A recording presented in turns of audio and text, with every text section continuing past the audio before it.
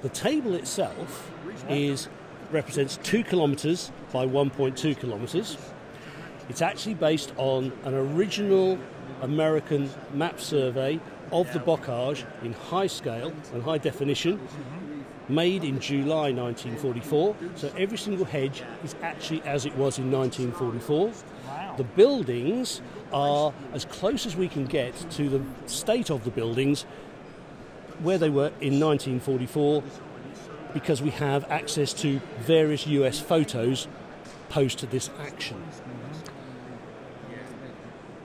As you can see here, we have, uh, just to show how anal we are, um, the telegraph poles are 1930s, 1940s concrete telegraph poles that you only oh, get in France. Oh God! Yeah, yeah, yeah. Nothing less. I would be But we have had to include an anachronism, a deliberate anachronism.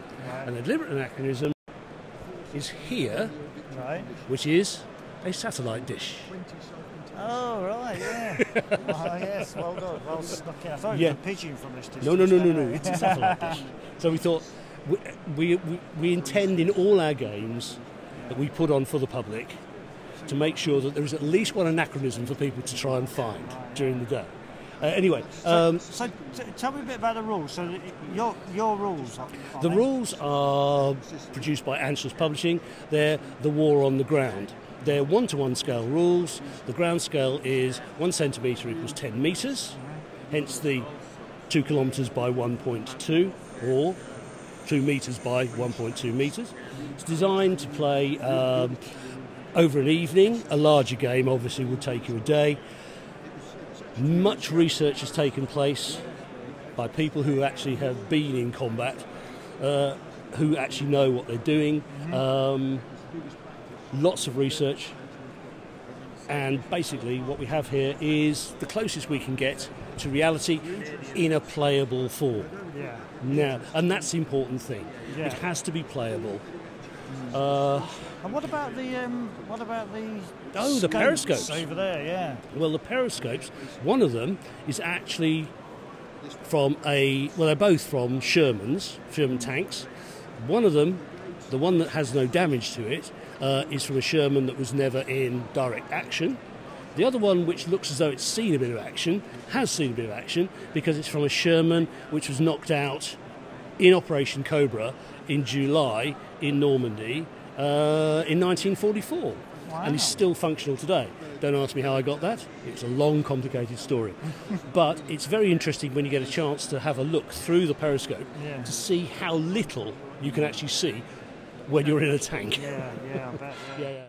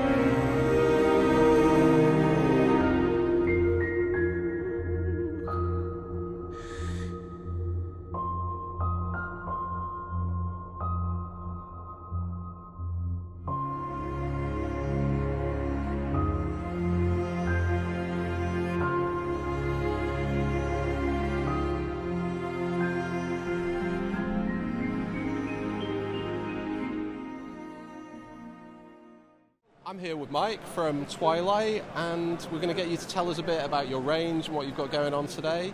Uh, you've got quite an impressive board here. You've been doing demos all day. How's it going? It's going well. It's quite it's quite fun. We've been doing this for far too many years now, so it's Yeah. quite it's quite fun to come back, and we always come back with slightly more. And this Yeah. year, Martin's brought along an amazing board. It's very made up- impressive. yeah, I drew a picture of a little city, um, and he said, "I'm going to build that." And um, apparently, he managed it very, very well. It seems like he's done a good representation of what you're after. Yeah, it's lovely. It's just that kind of slightly chaotic, small, bustling city with lots of um, all the civilians. I, I take every opportunity to sculpt civilians because they're just fun to do. Sure. Um, they're not I, I make excuses to bring them into the game, but mainly it's just because they're fun to do. Um, and he's just taken that to town and just made lots of little vignettes and told lots of stories. And that's pretty much what I, why I do Twilight is to make these little stories. Yeah, I mean, how long has it been going now?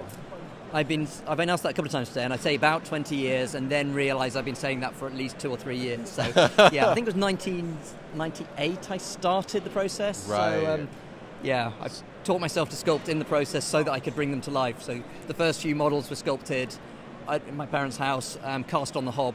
And then since then, it's gone a little bit more sophisticated. Cast on the Hob is great. I like that. Yeah, you should go back to that. I've still got some of those models, but Um, there's, uh, I mean, you've gone back to the kind of kitchen thing because I hear some of these are made with cake blanks, right? So Oh, all the buildings, right? Oh, uh, Martin's just the, the magic working this sort of thing. Yeah. So this is just the city. He's also built a tower over there that even makes this look, le- yeah, which is even more impressive than this. But yes, it's. I've been building these out of Pringles tubes forever.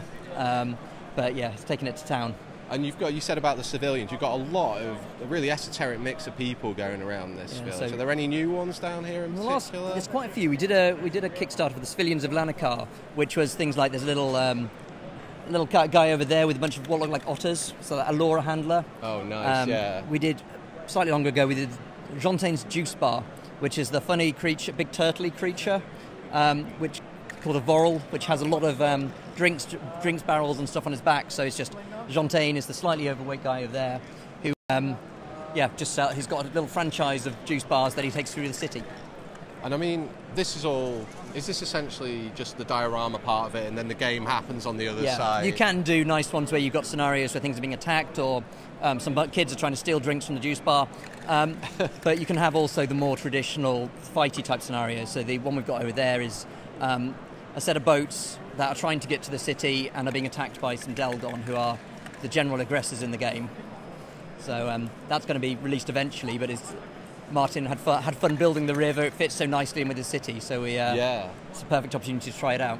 And for those who aren't familiar with the game and the workings of it, can you kind of give us a very quick overview of what it is and what it's about? So it's it's a small scale skirmish game. Um, so it's kind of like you might have 10, 15 models aside normally. Um, it will scale up, but it's there's not too much range in it. It's quite a lot of um, small scale skirmishes, but I've always tried to have very different forces. So it's got a certain degree of we draw stone, draw initiative counters to see who moves when.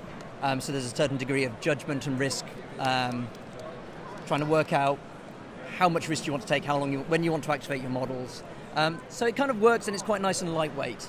Yeah, Uh, but there is strategic depth. it's if got you strategic depth. it. You can choose what how you fight in combats. So it's more.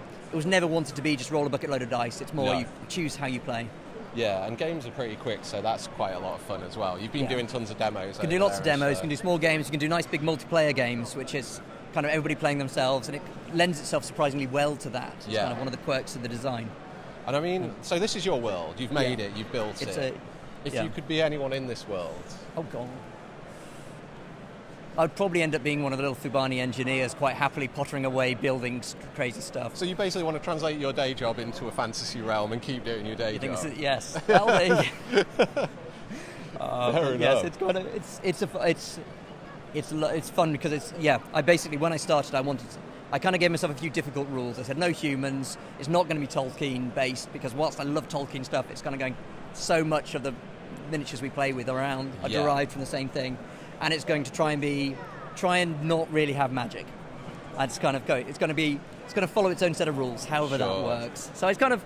And I think I've created that. It's probably got more hints of things like Dark Crystal than I originally yeah, intended. It is. It's more like if Jim Henson wrote Lord yeah. of the Rings, isn't it? Really? It feels a bit like that, and it's what's come out of my subconscious from the things I've loved, and it's just I'm a bit of a um, yeah magpie for just pulling in the cool things, and they sort of appear in the designs, Yeah. dinosaurs and creatures, and just being able to make fun stuff and whatever. It's basically a big sandpit. Yeah. It looks really good too. Thank you. So yeah, I mean, is there anything else I've not asked you about that you really like? You've got to know about this. Um, we've had new ranges, uh, but it just keeps on growing. So there's lots of different cultures and different um, flavors. So yeah, it's like we did a Kadeshi Kickstarter recently, which adds a bunch of much more wild creatures into it, large beasts. But um, yeah, I think that's kind of a good essence of it. Cool. Thank well, you. thanks for chatting. My pleasure.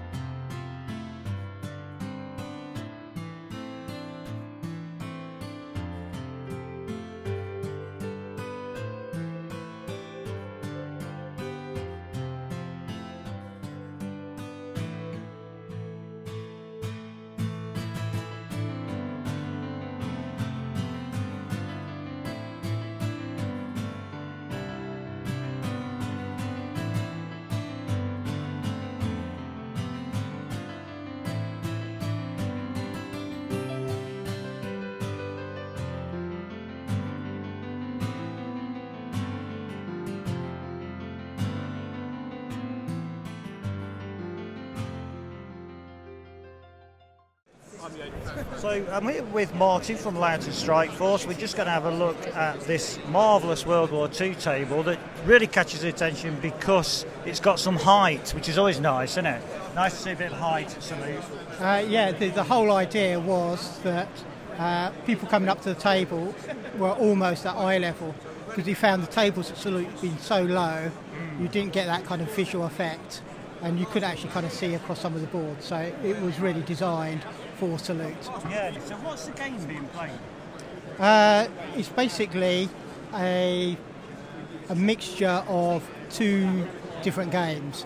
Uh, we have on one end of the board the Volga and the banks of the Volga, and uh, we've basically used Pavlov's House board game as uh, the background for actually kind of getting in the support, like the artillery, uh, the AA units, okay, and the, the command and signal structure. And the upper board uh, is with the mill, Pavlov's house, uh, and the German front line where the milk house actually is. And that's being played with uh, Dave Brown's O group rules.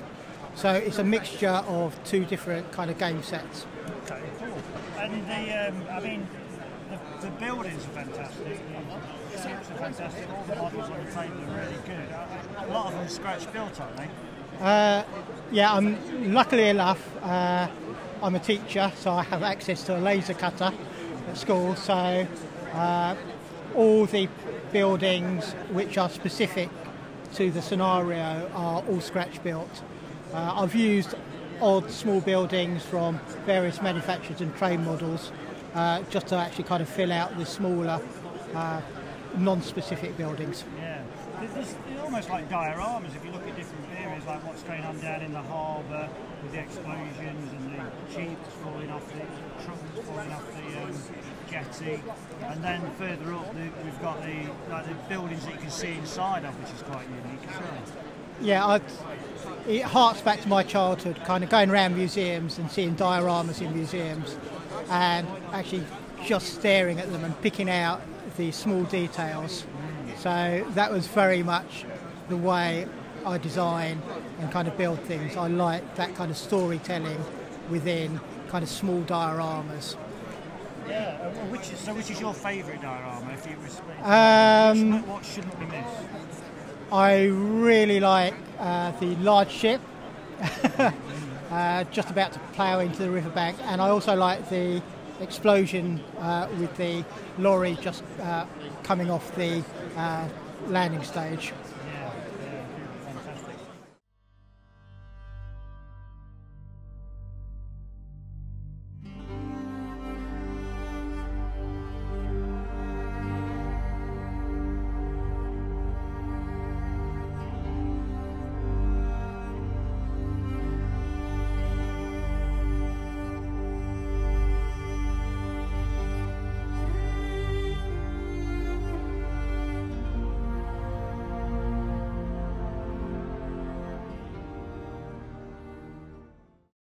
This video has been brought to you by WI Prime, Wargames Illustrated Magazine's online members club. View more videos or find out more about WI Prime by following these links.